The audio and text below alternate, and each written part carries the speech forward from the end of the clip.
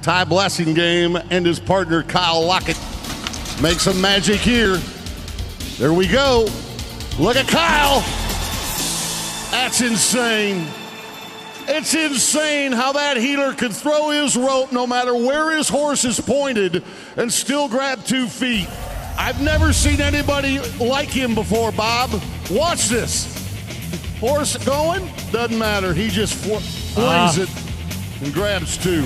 And Boyd, on top of that, 20 minutes ago, he was upstairs signing autographs for kids.